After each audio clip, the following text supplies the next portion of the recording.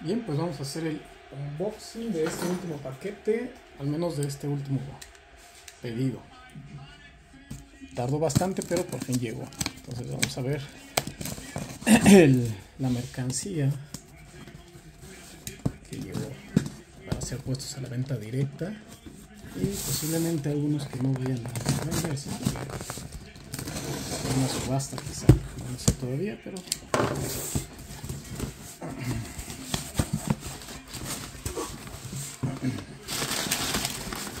basura, basura, basura y voilà. Calcetines. Roman Rey, talla mediana. Una playera de Stone Cold. Soy fanático y esto es para mí.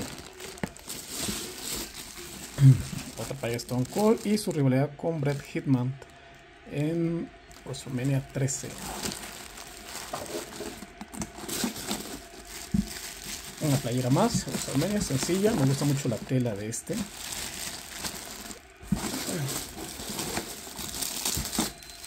Otra playera, Stone Cold contra Shawn Michaels en WrestleMania 14.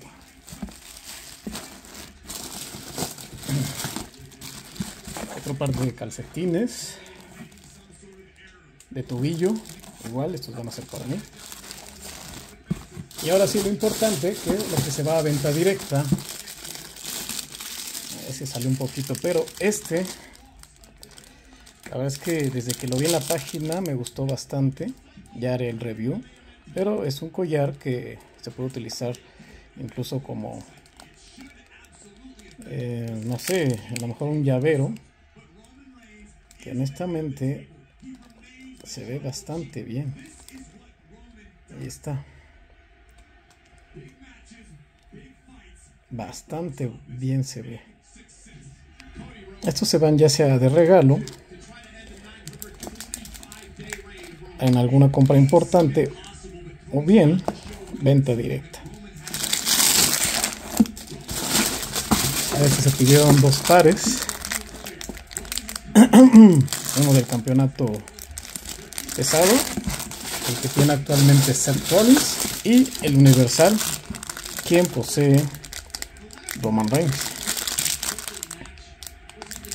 Completamente originales, directamente de la WWE Shop. Y en su momento haré el review de cada uno. Uno más. Y otro el cinturón spinner. Que posee a John Cena. Al parecer está bastante bien y sí gira. Entonces ya haremos el review de este bonito cinturón. El With Eagle, el cinturón clásico, que este me lo voy a quedar yo. Y dos cinturones que se van a la venta. El campeonato pesado, antes de que se unificara.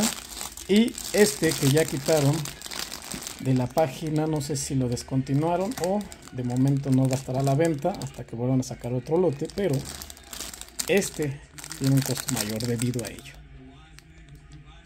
Ese es el unboxing de este día.